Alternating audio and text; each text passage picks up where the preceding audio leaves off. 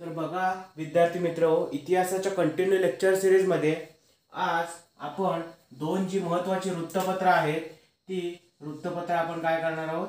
पाहणार आहोत.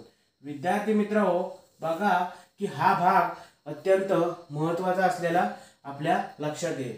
विद्यार्थी मित्र हो, आपण वृत्तपत्रांच्या इतिहास या लेक्चरमध्ये आपण पहिला भाग घेतलेला होता किंवा पहिलं वृत्तपत्र घेतलेलं होतं आणि ते वृत्तपत्र दर्पण वृत्तपत्र होतं. परंतु विद्यार्थी मित्र लक्षात घ्या की खूप लोक असं म्हणतात म्हणजे खूप लोक म्हणण्यापेक्षा नोट्स ज्यावेळी मेक होतात किंवा काही हल्ली मार्केटमध्ये खूप सारे बुक्स अवेलेबल आहेत परंतु तुम्हाला एक महत्त्वपूर्ण माहिती अशी मिळाली असेल की दर्पण हे वृत्तपत्र मराठीमधील पहिलं वृत्तपत्र होण्याचं कारण काय? की दर्पण हे जे वृत्तपत्र आहे त्याच्या आधी मुंबापूर नावाचं एक वृत्तपत्र अस्तित्वामध्ये होतं. परंतु त्याचे काही पुरावे आहेत. बरोबर? आणि पुराव्यानिशी कोणतंही काम करणं किंवा पुराव्यानिशी त्याला एक घोषित करणं हे काही तेवढंसं पॉसिबल नसतं.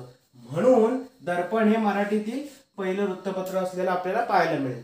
आणि दर्पण या वृत्तपत्राविषयी इन डिटेल माहिती आपण मागच्या लेक्चरमध्ये काय केलेली आहे पाहिलेली आहे.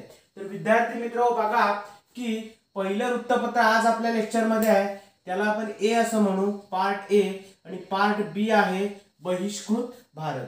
तर विद्यार्थी मित्र दोन वृत्तपत्रांविषयी आपण इन डिटेल स्टडी करणार आहोत.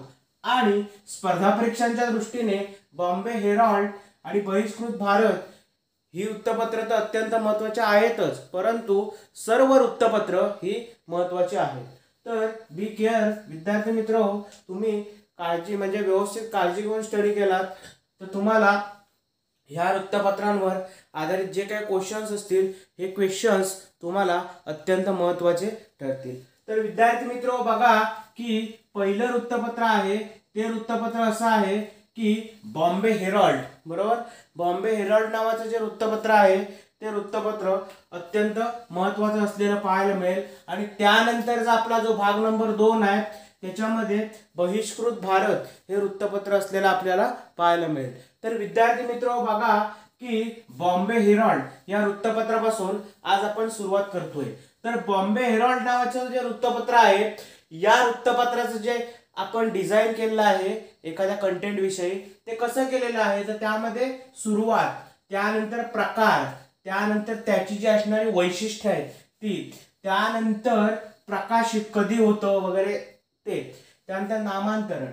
तर विद्यार्थी मित्र बघा की बॉम्बे हेरॉल्ड नावाची जी वृत्तपत्र आहे त्याची सुरुवात ही सतराशे एकोणनव्वदमध्ये झालेली आपल्याला पाहायला मिळेल.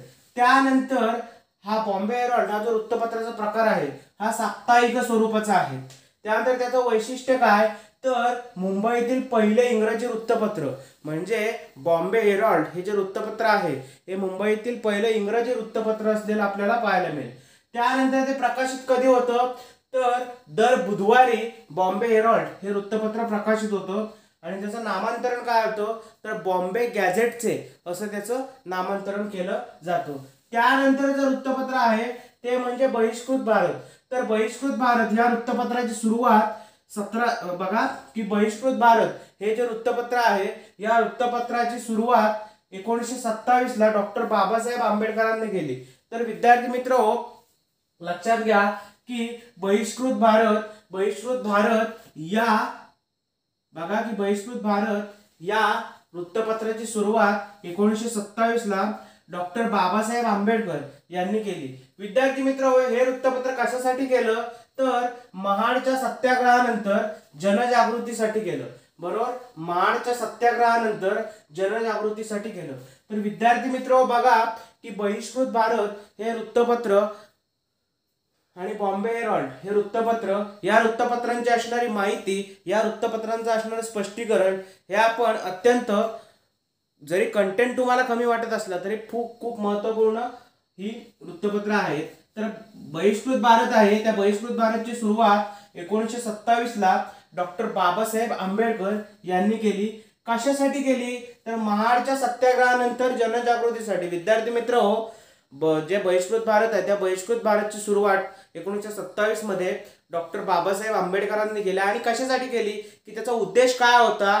तर जनजागृतीसाठी म्हणजे महाडचा जो सत्याग्रह झालेला होता बरोबर? महाडचा जो सत्याग्रह झालेला होता त्या महाडच्या सत्याग्रहाचं बरोबर? जो महाडला सत्याग्रह झाला होता त्या महाडच्या सत्याग्रहाच्या किंवा माळच्या सत्याग्रहानंतर म्हणजे माळचा सत्याग्रह आधी झाला. आणि सत्याग्रहानंतर काहीतरी जनजागृती किंवा जनजागृती होण्याची गरज होती किंवा जनजागृती होणं हे आवश्यक होतं. आणि त्यासाठी हे वृत्तपत्र होतं. आता कधी ते तीन एप्रिल एकोणीसशे सत्तावीसला हे सुरू झालं. प्रकार काय आहे? तर पाक्षिक मदत सयाजीराव गायकवाड यांची. आता या वृत्तपत्राला मदत कुणी केली? तर सयाजीराव गायकवाड. त्यानंतर मुखपत्र आहे ते. दलित चळवळीचं. म्हणजे मुखपत्र आहे कसलं तर दलित चळवळीचं. विद्यार्थी मित्र हो या लेक्चरमध्ये आपण बॉम्बे हेरॉल्ड आणि बहिष्कृत भारत विषयी माहिती पाहिलेली आहे.